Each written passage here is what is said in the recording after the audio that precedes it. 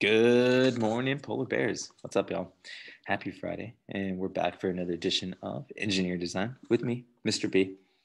It is April 23rd, 2021, and y'all, this year is just flying by. I did want to show off uh, this picture of a dog. It's not my dog, but I wish my dog would uh, have fancy glasses like that. And for on campus scholars, if you have a boat, you have it created, and it's on campus, and you have not tested yet, please send me an email. Uh, the first eight scholars to send me an email to test their boat out will um, I'll be able to take you out sometime today in order to have and be able to do your boat challenge. So in this email, make sure you have your name, your advisor, and your grade as well. And I'm gonna try to uh, get y'all in to test your boat out today. So today we are going to talk a little bit about something called architecture. So first, I will warn you, this song is catchy, and I think, and this song has a lot of bars. There's, there's spit and fire here, y'all. All right, let's go.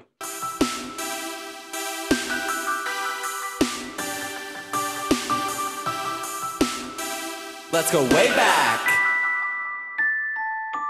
Look back and reminisce on how it began and how I became the architect that I am. I knew I was an architect since the age of two. Standing in my crib, I had a fascinating view. Riding in my stroller, the sights were amazing. Everywhere I looked was stone, brick, and glazing. My second word form, first word function. My parents were amazed I could connect that conjunction.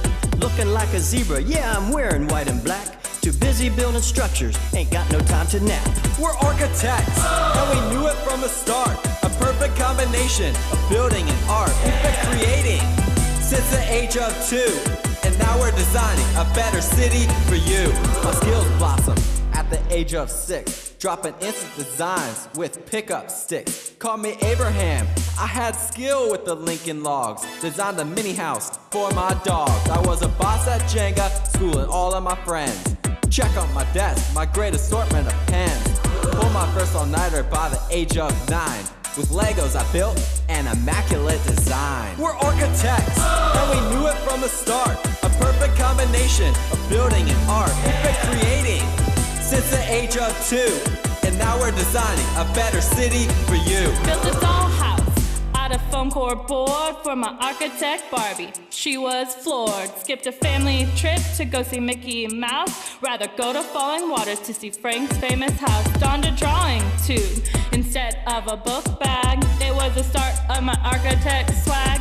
Sorted all my clothes according to hues and made a SketchUp of my bedroom with a 3D view. We're architects, and we knew it from the start. A perfect combination of building and art. We've been creating since the age of two. And now we're designing a better city for you. Composing skylines with in Sim City. And in Minecraft, I built a home that was pretty. Designed a tree house and brought to fruition. But I had to cut costs to save for my tuition. Mowed a hundred lawns to buy a 3D printer. And took up woodworking, ounce, a splinter. Love to design and build. It's what I do. I'm gonna be an architect. How about you? So get up, grab your pencils, let's design. So yeah, that that's what an architect is. So if you've ever built Lego or you ever use Legos, you've ever played Minecraft, um, you've ever wanted to build or have built a treehouse, uh, you've ever played with the dollhouse, maybe that might be an interest in architecture. Just letting y'all know. So we're gonna jump a little more into. Not again. I will say it's a little catchy. That song's a bit catchy. But we've talked about a city. We've developed our own city. We've, you know, talked about what makes up a city. Now we're going to kind of go and zoom in a little bit more and not just at a city, but at a specific building, right? Looking at buildings, looking at houses. So we're kind of getting our microscope and zooming in here. So, what is architecture? That's a great question. And our definition of architecture, it is art, y'all. It's art. So I know you're thinking, well, Mr. B, I'm an engineer and design. I'm not doing art. Don't worry. We're only covering architecture, but it is an art architecture is supposed to be pretty. It is basically designing. You have to draw them up and you have to construct them. Buildings. This can include houses. This can include very tall buildings. This could be include small buildings. This can include a school just like the one you go to.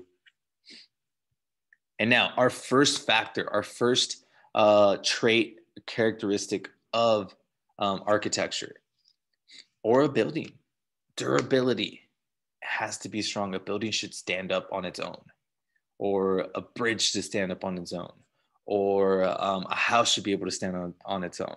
This isn't like the three little pigs. We need we need that brick house, y'all. And I wanted to show you, you know, not a building, but it is a structure. If, if a bridge is flimsy, you're not going to drive on the bridge. Heck no. Utility. What that means is that it needs a actually um, it has to be right for what it's supposed to be used for, right? So what I mean by that is a hammer. You're not gonna you're not gonna smash a hammer into a wall. You're gonna use it for a nail, slowly but surely, and put that nail in. Now, if it's really cold outside, guess what? You're not gonna wear a suit. You're gonna wear a coat. You're gonna wear a sweater. You're gonna wear a bunch of hoodies. So it needs to be right for what it's supposed to be used for. That's utility. Next one. And our last characteristic is beauty. It's got to be mwah, beautiful, aesthetically pleasing. All that means it's it's your eyes, y'all. It's gonna be you might walk by, past the building or a super tall skyscraper, and you're gonna be like, "That's such a pretty building." That's what an architect wants to do. It wants to create beauty. Here's a, a little gif of some really pretty libraries.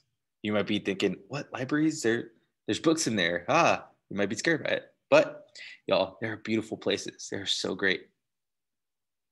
I love that GIF. Okay, so with today, we have structure. That is the actual structure, the actual building. It's the way it's built or the actual building itself.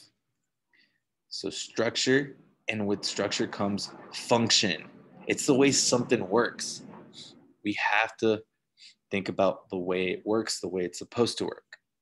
Now, here's some examples of structure and function. First off, an umbrella. It's raining, right? What if an umbrella was flat?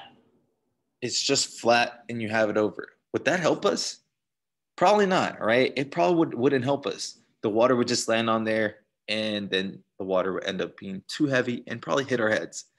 But check out the shape of the umbrella. It's like a dome shape, it's like a half circle. Water lands and then it bounces off and it covers you. So it's working like it's supposed to. The structure, the shape of it helps the function on keeping you dry. A polar bear. Yes, we are all polar bears, but um, a real polar bear it lives out in the cold, right? It lives out in Antarctica, lives out on the North or South Pole, and it's very cold out there.